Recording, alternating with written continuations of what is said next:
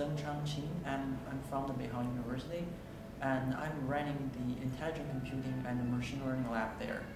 So I'm an associate professor, and uh, my research interests about machine learning and data mining, and also their applications in the real world. I call myself a mathematician or a computer scientist. I'm not an electrical engineer because all, all, all the work I have done is about like uh, setting, you know, so, sorry, working on the mathematical models and then trying to implement some algorithms. It's not like the real electrical engineer. Because uh, I'm from academia and many people and also many audience and speakers today are from business, right? From the real industry. So uh, first I want to give all the people some like a tutorial about data mining for the people who don't know what data mining is.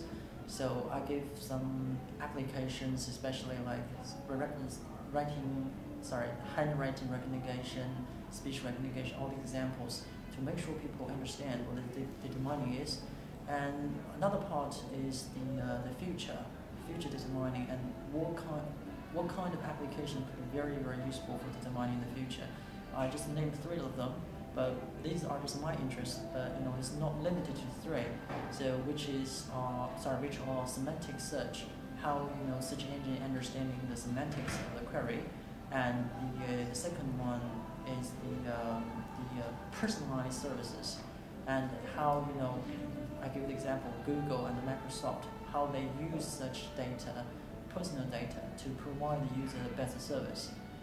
And you know, and the third one is behavior mining. Just like uh, we we just start from a very simple mathematical model, trying to use this data data mining technology to understand uh, behavior of one agent.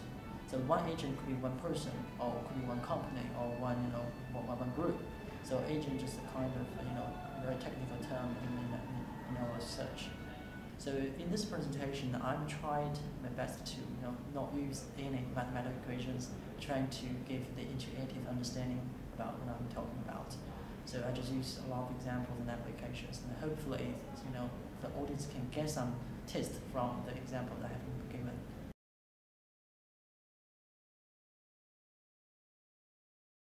So it's a very good question. And just like when I mentioned in my presentation, I'm not expert in data center, but you know, I'm a data lover. I've been working on the data for nearly 10 years.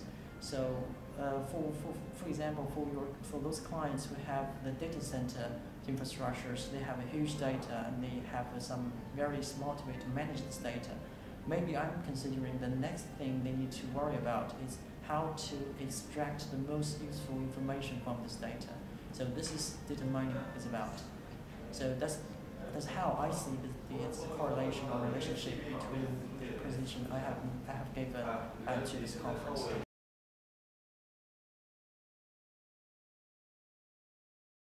Okay, um, the tips and advices. Because uh, if you want, if you're trying to understand whether you know very deeply about this thing, you you, you have to get a PhD so, you know, this is a very mathematical and computing thing, but if you uh, like to know more about data mining and its application in the world, it's in the future world, and you can actually uh, read a lot of the magazine, IT magazine articles about data mining. Also, simply you can Google data mining to see the Wikipedia how you know they, they explain the data mining about.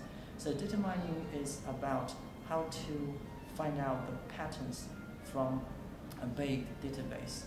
And this pattern is because you're interested in pattern, because this pattern will be very useful for you or for your business. So if, you know, I think many companies are facing this problem because they have huge data and they know there's some useful information in the data, but they don't know how to get this useful information from this data. So we have to get some very smart way or mathematical way to do this.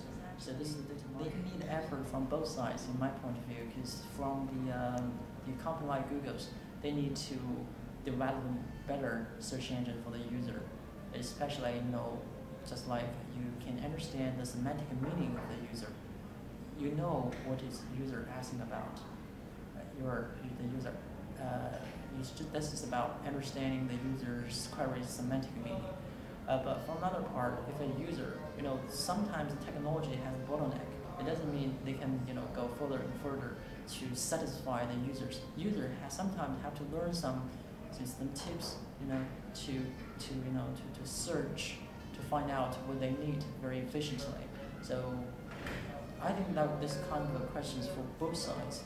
And if you, for example, if you if you are illiterate, it's very hard to find anything from the internet, right? But if you're very educated, if you learn some tips, and you know how to you know use the search engine, maybe you can do much better. But also from the uh, the company side, if they give you the very simple, uh, just like a very simple window, just type in what you wanted to do, and they can analyze behind it. That would be the best. That would be the future.